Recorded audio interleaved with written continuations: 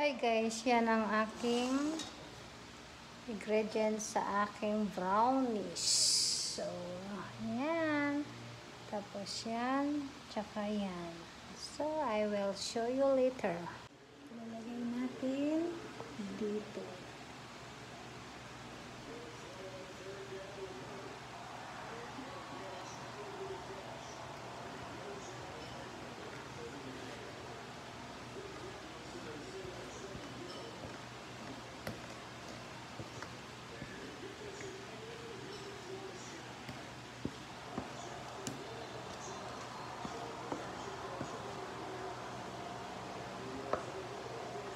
Guys, ayan na yung brownies na niluto ko.